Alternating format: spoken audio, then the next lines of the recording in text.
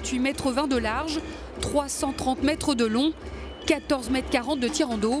Jamais Port-Réunion n'aura accueilli d'aussi grands porte-containers depuis sa création.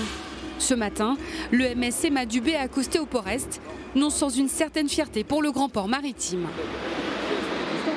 Pour nous, l'enjeu, c'était de démontrer que Port-Réunion a la capacité euh, d'accueillir ce type de, grands navires. Quand, je dis Port-Réunion, c'est pas Port-Réunion seul, c'est euh, les remorqueurs, les pilotes, euh, les aconniers. Et ça, pour nous, c'est important parce que dans la concurrence internationale, il y a de moins en moins de ports capables d'accueillir ces navires de plus en plus gros.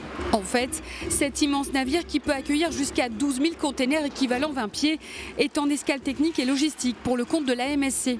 Dans quelques semaines, la compagnie maritime lancera avec la CMA CGM une nouvelle ligne, la New Australian Express Nemo.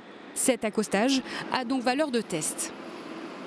C'est très important pour nous de pouvoir tester le, port, tant dans les capacités nautiques, l'aide au navire, c'est-à-dire le pilotage, le remorquage, et la manutention. On a la chance d'avoir des portiques qui sont maintenant adaptés pour travailler sur ce genre de, navire, donc l'escale va très très bien se passer.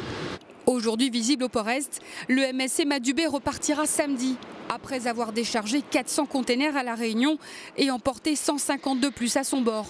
Au mois d'octobre, ce sont d'autres bateaux, un peu moins grands, qui assureront le trafic entre l'Europe, l'océan Indien et l'Australie sur la nouvelle liaison maritime.